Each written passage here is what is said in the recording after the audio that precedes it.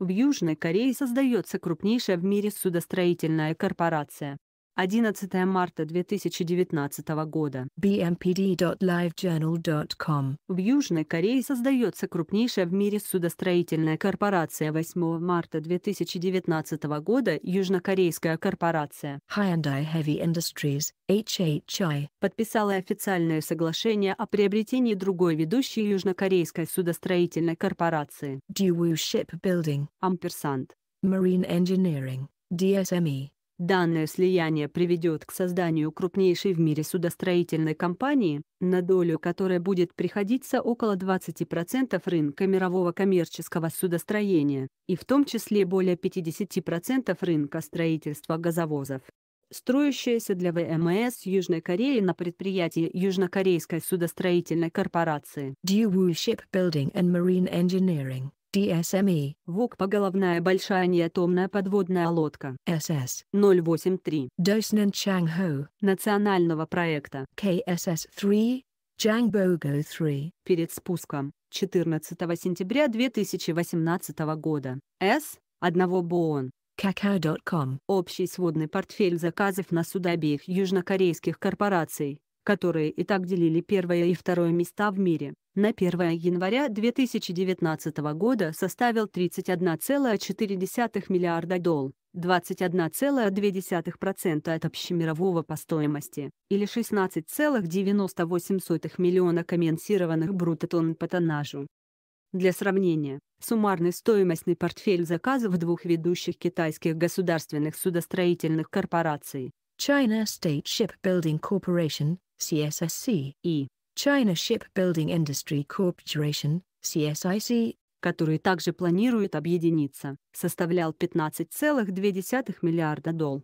Две крупнейшие японские судостроительные корпорации Imabari Shipbuilding Company, и Oshima Shipbuilding Company, имели общий портфель заказов в 12,6 миллиарда долларов. В частности, суммарный портфель заказов HHI, и DSME, сейчас включает 70 LNG, газовозов, суммарная стоимость 13,5 миллиарда долларов 52% в стоимостном исчислении ООО и общемирового портфеля заказов, 25 LPG, газовозов, 1,7 миллиарда долларов 30%, 161 танкер, 9,6 миллиарда долларов 20%, 70 контейнеровозов, 6,4 миллиарда долларов 19%, и 26 балкеров, 1,9 миллиарда долларов 3%. Считается, что новое объединение будет фаворитом на быстрорастущем рынке судов для перевоза жиженного природного газа. Новое объединение будет также крупнейшим строителем боевых кораблей практически всех классов для ВМС Южной Кореи и, видимо, в перспективе станет одним из ведущих игроков на мировом рынке военного кораблестроения. Сделка об объединении заключена в соответствии с меморандумом о взаимопонимании, MU, подписанным 31 января 2019 года, HHI, и мажоритарным акционером, DSME, Государственным Корейским банком развития, Korea Development Bank KDB, которому принадлежит 55,7% акций компании. Ожидается, что сделка будет завершена в течение следующих шести месяцев и ее стоимость составит более 2 ТРЛН вон, 1,78 миллиарда долларов. Сообщается, что по заключенному соглашению, КДБ передаст HHI, свои акции DSME, и в свою очередь купит на 1,25 ТРЛН вон акции, HHI, которые затем будут переданы отдельному юридическому лицу. Таким образом, у HHI, в результате будет 68% доля в объединенной компании, а KDB, останется вторым по значению акционером с 18% акций. При этом Hyundai Heavy Industries, будет разделена на две компании, одна из которых будет представлена на бирже. Сделка также предусматривает оказание через KDB, государственной поддержки на сумму 2,5 ТРЛН вон, 2,25 миллиарда долларов, для покрытия большей части задолженности DSME, в размере 2,6 миллиарда долларов. С поглощением, головная холдинговая структура Hyundai Heavy Industries Group, будет иметь 4-4 дочерние компании. Hyundai Heavy, Hyundai Samho Heavy Industries, Hyundai Mipo Dockyard, и, Daewoo Shipbuilding. HHI. Как сообщается, имеет необходимые средства для обеспечения сделки денежные и обналичиваемые активы компании составили 2,7 ТРЛН вон на сентябрь 2018 года. Кроме того, HHI. в январе 2019 года также согласилась продать энергетическую дочернюю компанию за 1,8 ТРЛН вон. Причиной поглощения DSME. стала ее хроническая убыточность в последние годы и обремение большой задолженностью. Фактически компания имеет перманентные финансовые проблемы с момента краха всего Чеболя группы. Daewoo. В результате азиатского экономического кризиса 1997 года.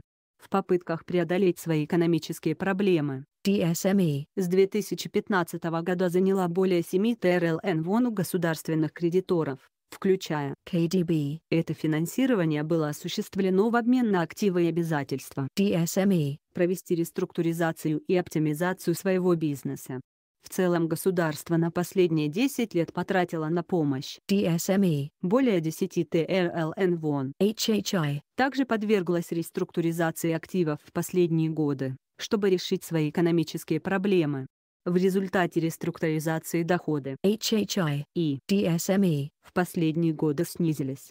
В период с 2015 по 2017 годы выручка HHI. упала на 49% до 10,1 ТРЛН вон, хотя операционная прибыль выросла до 13,8 миллиарда вон. Выручка DSME. за тот же период упала на 23% до 10,6 ТРЛН вон. В период с 2013 по 2016 годы DSME. понесла значительные убытки, хотя в 2017 году впервые получила операционную прибыль в размере 716 миллиардов вон. Сообщается, что правительство Южной Кореи в целом без энтузиазма отнеслось к созданию мегакорпорации, опасаясь монополизации и ухудшения конкуренции в судостроительном секторе. Профсоюзы HHI. и DSME. также резко выступали против поглощения, опасаясь, что оно приведет к значительным сокращениям рабочих мест в ходе неизбежных реструктуризаций и демонстрации рабочих, DSME. уже привели к беспорядкам у штаб-квартиры KDB. в Сеуле. Банк KDB. предлагал свою долю в DSME. также и другой крупной южнокорейской судостроительной корпорации, Samsung Heavy Industries. Но та в итоге в феврале отказалась от приобретения, DSME. сочтя ее экономическое положение слишком обременительным. Право на данный материал принадлежат. bmpd.livejournal.com. Материал размещен правообладателем в открытом доступе.